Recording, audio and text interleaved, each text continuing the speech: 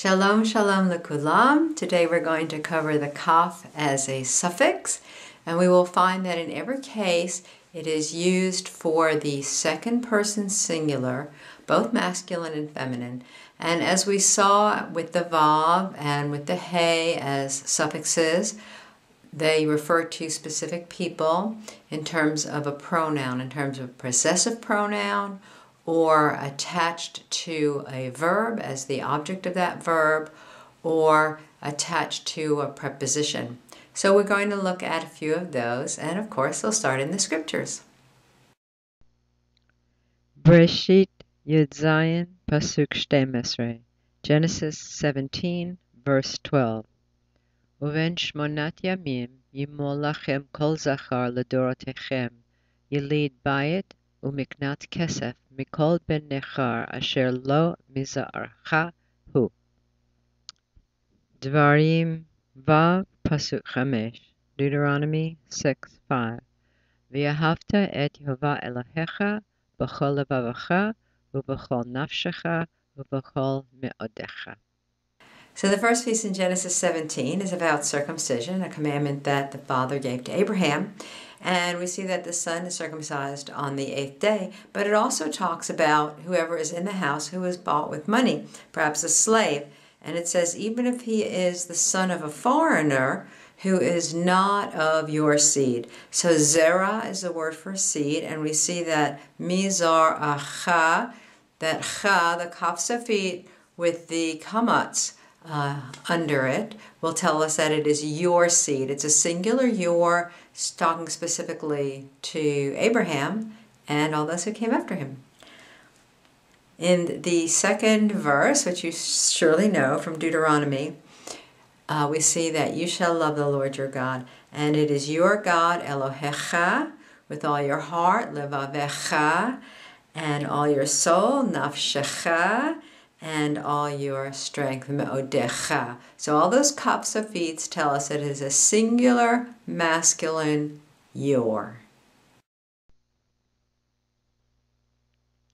Yecheskel Tetzayin Pasuk Arbaim Vechamesh Ezekiel 16 verse 45 Bat imech at goelet isha uvaneha ve'achot achotech at Asher Gaalu Anshehen Uvnehen Imchen Chitit Ba'avichen Emori.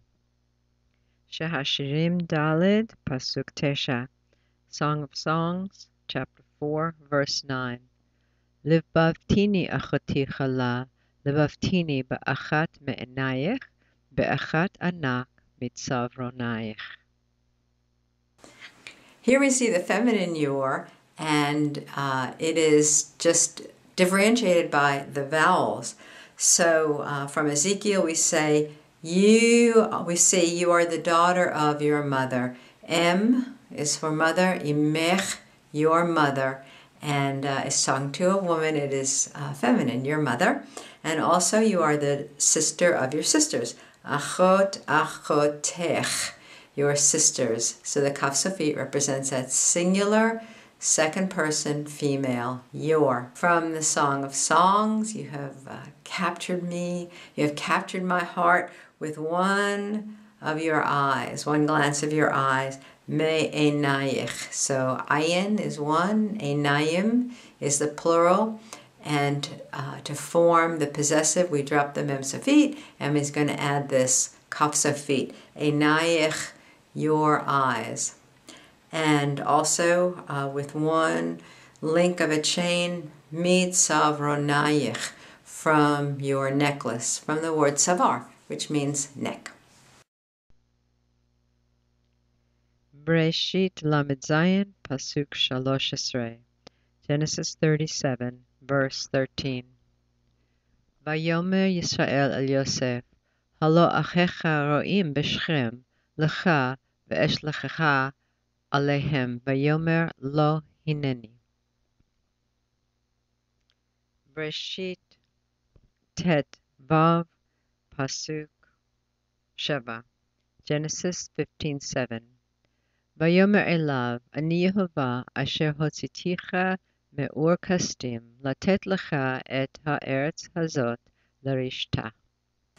In Genesis 37, uh, we see two two different kaf kafsafits, and the first one is a possessive. Uh, Jacob is sending Joseph out to see how his brothers are doing in Shechem. And so it says, uh, Are your brothers not uh, shepherding in Shechem? So the, your brothers is Achecha. Again, Achim is brothers, plural. To add the possessive, you drop the mem memsafit, and that kaf kafsafit with that kamatz, that's your brothers. And then we see also as the object of the verb. The verb is shalach, to send. And Jacob says, Eshalacha. There's two chas there. Um, shalach, the aleph is, if you remember, the aleph is for I will, shalach, send. And then the kaf sofit is you. He's talking to Joseph, um, to his son, I will send you. In the piece in Genesis 15, uh, the father is talking to Abraham, and he says, um, uh, I am the God who took you out of Ur of the Chaldees. So the verb there is hotseti, it's conjugated for I took out, and then the chaf sofit at the end is you. I took you out. Specifically, he's talking to Abraham. We also now get into a little bit of the prepositional use, and we know that the lamed is used as a preposition to mean to, and also some other translations we might have to change the preposition in English. Remember, prepositions never translate uh, conveniently from language to language, they're never the same. But licha um, is that lamed, preposition to, and the chafsafit is you, masculine singular, to Abraham, what did he give? He gave the land as an inheritance. Shmuel Aleph, Perek Kafhe, Pasuk Arbaim, 1 Samuel 25, verse 40. V'yavo'u avdei David el Avigail hakarmelah, v'yidabru aleha lemor, David shalachnu elayich, lekachtech lo leisha. Ruth Aleph, Pasuk Shesh Ruth 1, 16. Vatomer Ruth al Tge'ivi le'azvech, lashuv me'acharayech, ki el asher tilchi elech, uva'asher talini alin, amech ami ve'elohayech elohai. In First Samuel, we're looking at the incident where uh, Abigail has come to plead on behalf of her foolish husband before David, and then uh, sure enough, her foolish husband dies, and David comes to take her as a wife. So we see the first kafsafit is a Elayich.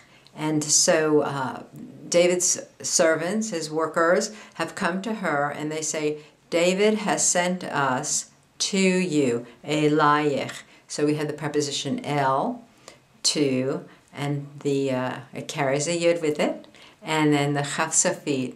But the chafsafit has that shva. We know that how it, it, that it's feminine from that. Sent us to you, and then attached to the verb to take you. So we have lakachat, and then the kaf sofit, to take you, Abigail, feminine singular. In the second scripture in this slide from Ruth, we see that um, again we have the feminine second person singular object attached to the verb.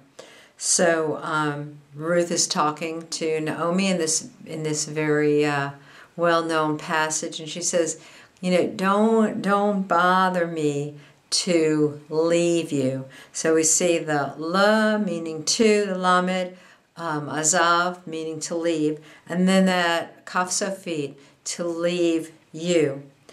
Um, we also see uh, a, a, preposition, a pronoun attached to a preposition, me'acharayach, to um, to turn away from you and so that uh, kaf sofit is there.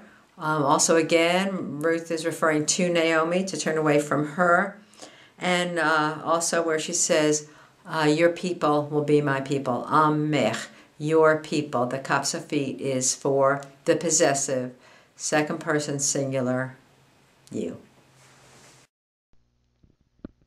Bamidbar Vav, Pasuk 26. Numbers 6:26. Yisa Yehovah panav elecha v'yasim lecha shalom. Devarim Yudalit Pasuk 2. Deuteronomy 14:2. Ki am kadosh ata liHova Elohecha uvacha bachar Yehovah lihiot lo la'am sugula mikol ha'amim asher al pnei ha'adama. Looking at some other prepositions uh, in the, this piece in Numbers from the Aaronic benediction, uh, where it says that um, Yahweh will lift up his face to you, elecha, that's singular, uh, you. And also he will place or he will give uh, to you, lecha, shalom.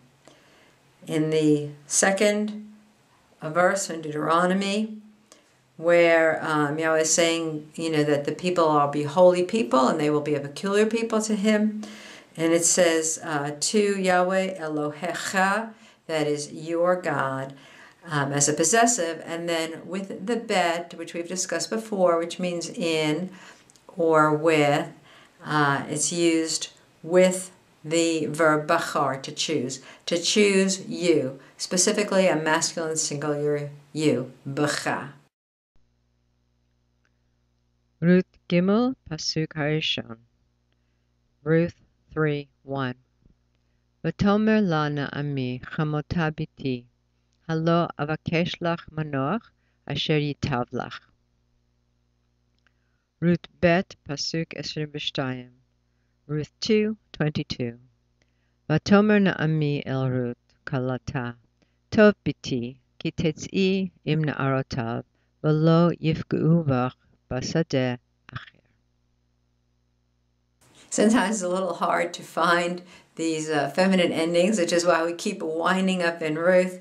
But here we have the uh, feminine singular, uh, second person, attached to the preposition lamed, lach.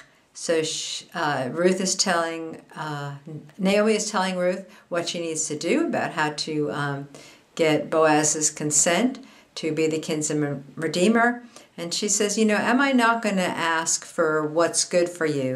I'm going to ask after you for rest. Avakesh lach manoach, that, that I'm going to ask for you rest. And also, what is good for you? That yitab, there's from the word tov, lach, what is good for you? In this case, it looks like to you. In the second piece, Naomi is uh, telling Ruth to stay in the field with Boaz because she says they won't bother you there. And that so that you is also that preposition bet, which means in or to or unto or with, and, and we see the feminine ending on it, uh, vach.